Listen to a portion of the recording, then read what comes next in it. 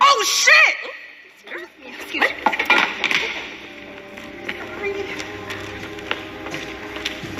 I'm so sorry, Captain. Uh, what do you want me to do? Thank you for finally joining us, first of all. It's not like this isn't the most important game of the year. Uh, just go get stretched out with them. You got groupies ready to take your spots.